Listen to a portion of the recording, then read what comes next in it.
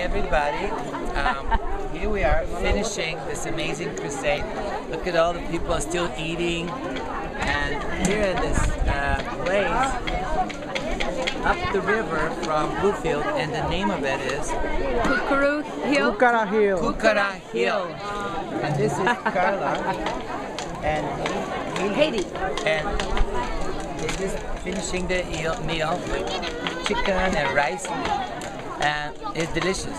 Beautiful meal. And where have you been eating corn? I've been eating corn. This is like boiled corn or something. Mmm, very good. Um, this is such an amazing time we had. Over a thousand people from different denominations.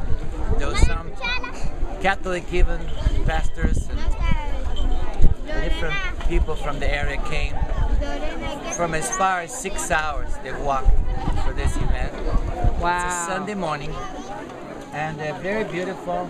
This lady, hello, hello, hello, hello, hello. This lady with the beau- beautiful smile, she had a, a, a stomach problem, and the Lord called a word of knowledge for someone's stomach, and she's healed. Wow. Amen. Now That she's able cool. to eat. What a beautiful time.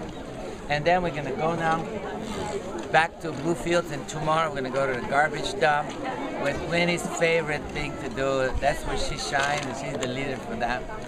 and then uh, an orphanage where we're gonna feed another thousand or fifteen hundred people. So it's an amazing time we're having here in Nicaragua. This is the seventh time we've been coming here every Christmas. Beautiful.